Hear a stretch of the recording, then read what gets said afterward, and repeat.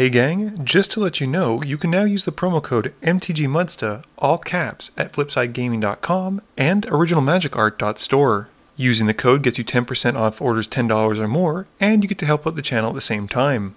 Also, just so you know, all orders over $10 or more until January 28th, 2019 at 11.59 p.m. will be entered to win their chance at a Ravnica Allegiance booster box. It's one entry per person, so good luck and be sure to let me know what you open. Today's game has us back at L'Abyss, and Skylar has rejoined us, playing as Ur-Dragon, and keeps Bloodchief Ascension, Wasitora Kreen, Darigaaz Reincarnated, Ramos the Dragon Engine, Mystic Monastery, Command Tower, and Crystal Quarry. I'm playing Trostani, and I keep a Forest, Stirring Wildwood, Phyrexian Processor, Angel of Sanctions, Fortified Village, Secluded Steppe, and Windbrisk Heights.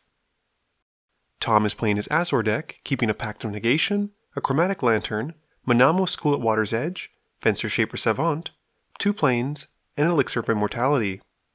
Lastly, Romain is playing his Neheb deck and keeps a Mountain, Mortuary Mire, Necromantic Summons, Kragma Warcaller, Ragemonger, Stitch Together, and Liliana's Caress. Tom wins the die roll and starts us off.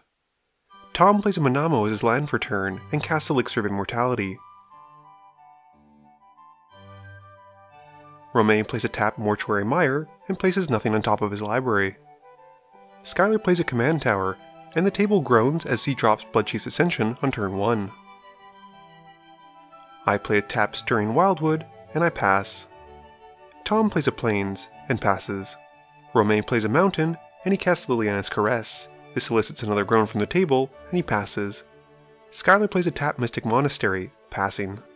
I play a Fortified Village, having it come in untapped as I reveal a Forest from my hand.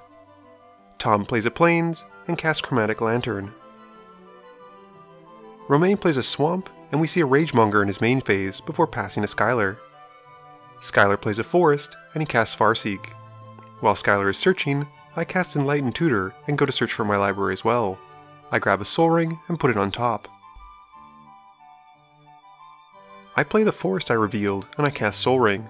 I then make a bold statement by casting Phyrexian Processor, and I put 25 life into it as it enters the battlefield. Tom plays a Kefnet's Monument in his main phase, and he passes. Romain plays a Kragma Warcaller in his main phase, needing to only pay 3 for it. Skylar also realizes that his Ascension should have a counter on it, and puts it on there.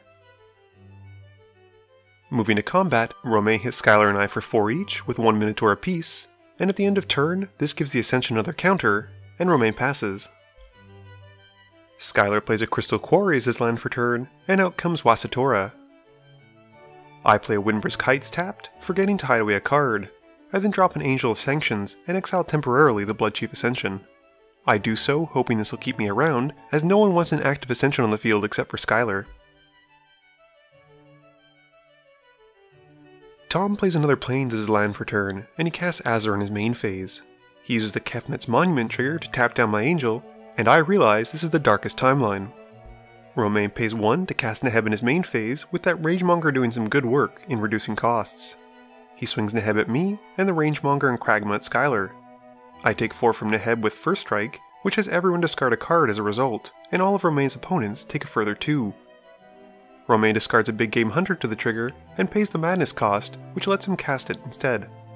It comes in and blows up Azor, and while we then move to normal damage, Skylar also takes 8. Skylar pays 3 for Song of the Dryads to enchant the Liliana's Caress in his main phase, and he gets some revenge with Wasitora hitting Romain for 5. Romain also has to sacrifice a creature, which has the big game hunter finally go to the graveyard like it was supposed to. I draw for turn, and don't have a land to play, and pass. Tom follows my example, drawing, having no land to play, and passing. Romain reveals the card he's about to draw, and pays the miracle cost of Reforge the Soul. Tom responds by casting Venser's Shaper Savant to bounce Liliana's Caress back to Romain's hand so he'll wheel it away. With the trigger on the stack, I activate my processor and make a 25-25 horror token. I then tap one white to cast Swords to Plowshares and exile the horror and gain 25 life. Tom also uses the Monument trigger to tap and keep Neheb tap for a turn. We then discard our hand and draw 7 new cards. Moving to his main phase, Romain plays a mountain for his turn and moves to combat. He swings the Ragemonger and Kragma Warcaller at Tom, who blocks one of them with Venser and only takes 4. Skylar draws for turn and plays Door to Nothingness in his main phase. Moving to combat, Wasitora finds herself swinging at Tom, and Tom takes 5. Since he can't sacrifice a creature, this gives Skylar a 3-3 cat dragon token, which is the first time I've ever seen one on the battlefield. I play command tower as my land for turn, and I cast Trostani in my main phase. I then drop a Wall of Omens, gaining 4 life and drawing a card. At the end of my turn, Tom cracks his Elixir of Immortality to gain 5 life and shuffle his graveyard into his library. Romain also wants to get in on this, using Rakdos Charm to blow up my Phyrexian Processor. Tom plays a tap Myriad Landscape as his land for turn, and he casts Isperia Supreme Judge. This lets Tom tap and keep Wasitora tap thanks to the Kefnet's Monument, and he passes turn. Romain plays another mountain, and we see a Raider's Wake in his main phase. Oh goodness, more painful discard cards. Moving to combat, Neheb and the Ragemonger go at Tom, while the Kragma Warcaller goes at Skylar. Both Tom and Skylar take the hits, with Tom taking 8 and Skylar taking 4. We all have to discard when Neheb connects, and we then take 2 from Raider's Wake. Romain moves to his end of turn, and the Wake's raid triggers. Romain has Tom discard another card and lose another 2 life. Skylar pays 3 in his main phase to cast Herald's Horn and names dragons. With nothing else, he passes. I draw for turn, and I play a Plains. I cast a Karmic Guide in my main phase, gaining 2 life as it enters, and I bring back Green Warden Murasa, gaining 4 more as it enters. I also get to return a card to my hand as it enters, and the Phyrexian Processor finds its way back to my hand. Moving to combat, the Angel of Sanctions hits Romain for 3. Tom casts a Knight of the White Orchard in his main phase and goes to find a Plains card as I have more lands than he does. He grabs a tapped Hallowed Fountain and puts it onto the field. Tom then plays a Maze of Ith for his land for turn, and he passes. Romain casts Diabolic Tutor in his main phase, grabbing his library and searching for a card. He then casts his own Elixir of Immortality, which is a very popular card in my videos recently. He moves to combat, and everything gets swung at me. I block, like so, and realize after the fact that I'd forgotten that Karmic Guide is pro-black, and Romain happily kills the Wall of Omens and Green Warden Murasa. I choose not to exile the Green Warden as it dies, and I then take 4 from the unblocked Minotaur. In his second main phase, Romain plays a top Forgotten Cave, and moving to his end step, has a Raider's Wake trigger target me. I discard a card and lose 2 life. Skylar reveals a Sunscorched Regent for his Herald's Horn trigger, drawing it and drawing for turn. He then casts the Regent in his main phase, and moving to combat, swings Wasitora at Tom. Tom draws from the Isperia trigger and is happy with whatever the card is. So happy, in fact, that he untaps Wasitora with the Maze of Ith. And Skylar passes to me. I let Karmic Guide die on my upkeep to the Echo cost, and I cast a Regal Force in my main phase, gaining 5 life as it enters and drawing 2 cards. Skylar's Regent also gets a plus 1 plus 1 counter, and he gains 1 life. I then play a Bountiful Promenade as my land for turn, and move to combat. The Angel of Sanctions once more deals 3 to Romain, and I pass turn. At the end of my turn, Tom cracks his landscape to go and find two islands. Tom plays a Temple of the False God, and recasts Azor in his main phase. This gives the Regent another counter, and Skylar another life. Tom has a Monument trigger tap down the Regent, and proceeds to drop a Sword of the Animist, giving the Regent its third counter and Skylar another life. Tom then gears up Isperia with the sword, and swings Isperia at Skylar, He gets the search trigger from the sword as he swings, and grabs an island. Skylar blocks with Wasitora, and Isperia and the Cat Dragon die. Romain plays a mountain, and casts Neheb for only 3 since the Ragemonger still reduces his cost. This gives Skylar's Regent another counter and Skylar another life. Moving to combat, Romain uses the old finger guns to illustrate where his lovely Minotaur army is headed. I once again block Neheb, but still take 8 from the other two. Moving to his end step, the wake trigger happens, and I once again discard a card and lose 2 life. Skylar plays a mountain as a land for turn as well, and he casts a Scalelord Reckoner in his main phase. He then casts a Fist of Suns, aka the Infinity Gauntlet, and he passes turn. I cast a Helm of the Host in my main phase, and pay to equip it onto my Regal Force. Skylar's Regent gives him a life and a counter of course, and moving to combat, I make a token copy of the Force, drawing 3 cards this time and gaining another 5 life. I then swing back at Romain for 10 damage, and I pass to Tom. Tom plays a Reliquary Tower as his land for turn, and casts Thran Dynamo. This gives Skylar another life, and his Regent another counter. Tom then moves to combat, and swings Azor at Skylar. This triggers Azor's ability, and Tom pays mana into it, enough so that X is 3. Skylar blocks with his Kitty Dragon token, and Tom then passes. At the end of turn, Romain cracks his elixir, gaining 5 life and shuffling his graveyard into his library. Romain plays a Bloodfell Caves as a land for turn, which comes in tapped and gives him 1 life. He recasts Neheb once more, gaining the Regent another counter and Skylar another life. Romain swings all the Minotaurs at Skylar this time, and Skylar blocks with his Reckoner on the Neheb. He takes 8, and in his second main phase, Romain suspends Wheel of Fate. At the end of turn, Romain has me discard a card with the Raider's Wake trigger, and I lose 2 life. Skylar uses his Fist of Suns to pay for one of each color of mana rather than spend the 7 to cast a Sheoldred. This gets countered though by Tom with a Cryptic Command, and he also draws a card. The Regent also gains another counter, and Skylar gains another life, and Skylar then passes to me. I draw for turn, and I move to combat. I gain a second token copy of the Regal Force, this time drawing 4 cards and gaining 5 life. I move to combat, and I swing the 3 forces and the Angel of Sanctions at Tom. Tom in turn untaps one with his Maze of Ith, and blocks one with the Knight of the White Orchard. And only takes 8 in the end. I then play a Forest as my land for turn, and I cast a Green Sun Zenith where X is 6, and Skylar's Regent gains another counter and gives him another life. The Zenith then resolves, and I go and grab Ulvenwald Hydra. I mislayer my triggers unfortunately though, gaining the 9 life from the Hydra from Trostani first, and then going to find a Reliquary Tower. With nothing else I pass to Tom. Tom plays a tap to Emeria of the Skyruin as his land for turn, and he moves to cast a Cage in his main phase. He names blue as it enters, and he then casts a Consecrated Sphinx to the groaning of the table.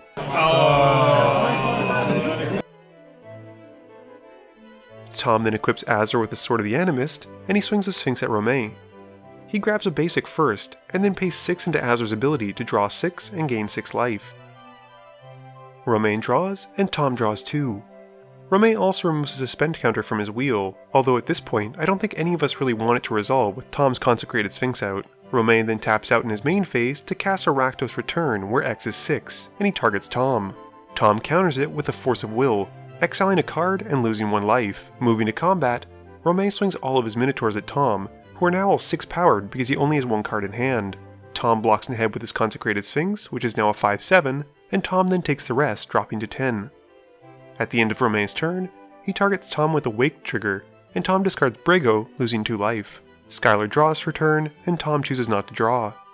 We then see a Rain of Thorns in Skylar's main phase, and he blows up my Helm of the Host, Romain's Raider's Wake, and Tom's Reliquary Tower. Moving to combat, Skylar swings the big ol' Sunscorch Regent my way, which I stop with my Ulvenwald Hydra. Skylar then passes, and at the end of turn, I activate Trostani to populate another token copy of the Regal Force. I gain 5 life as it enters, and I draw 5 cards. Tom decides to draw along with me, and draws 10 from his Consecrated Sphinx triggers.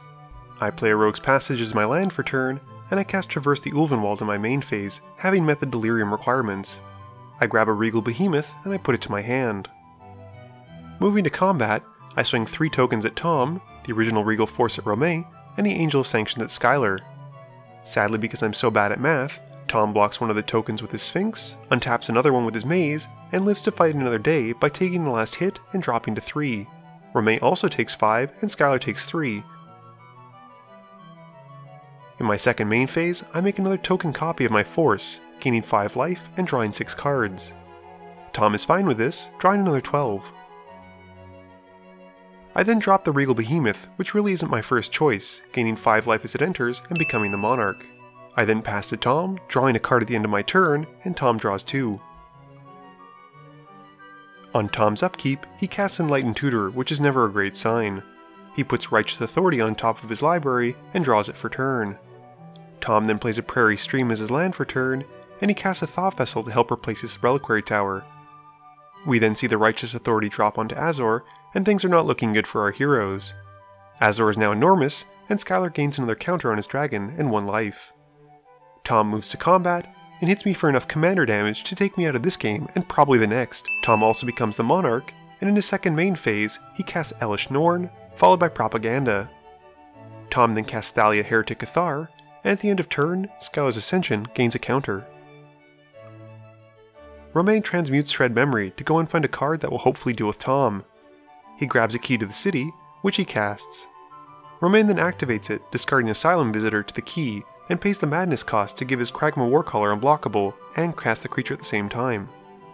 He swings the Warcaller at Tom, who untaps it with his Maze of Ith. Romain then passes to Skylar. Skylar attempts to resolve a Deathbringer Regent in his main phase, but Tom counters it with a Pact of Negation. Realizing they're probably dead either way, Skylar decides to at least do something, and he swings to take Romain out. Once Romain is dead, he concedes to Tom knowing he'll die on the swingback. Game review time. So, once again, being too quick on my decisions has cost me a game. Had I done a better threat assessment of what Tom had on his field, I would have swung an extra creature at him, probably the Angel of Sanctions, to take him out. By not doing so, it forced me to have to start digging into my library further and further, and with his Consecrated Sphinx out, it gave Tom all the answers he needed. I really enjoyed Tom's Azor deck, even though the fact that it denied instants and sorceries didn't really come into play. Having an ability that can draw him some cards is fantastic, and it was pretty funny to lose to a card like Righteous Authority, which I've only ever seen in a limited format. Skylar's Ur-Dragon deck functioned a lot better than his Scave deck did this game, but unfortunately by the time that he started dropping more and more threats, Tom had a grip full of counterspells, and Skylar wasn't really able to do very much. I realize now that technically Romain should not have been able to swing at Tom that last turn because of propaganda, and he didn't have the mana to pay for the attacking creature. He certainly played the aggressor for most of the game, but as soon as I started getting Trostani going, and also when Tom resolved his Elesh Norn, his deck kinda fell a bit behind. Please be sure to tune in every Monday and Thursday at 11am Eastern Standard Time for a guaranteed new video. You can also follow me on Twitter at MTGMuddstah. You can find me on Facebook at facebook.com slash mtgmuddstah. And lastly, you can check me out when I stream at twitch.tv slash mtgmuddstah.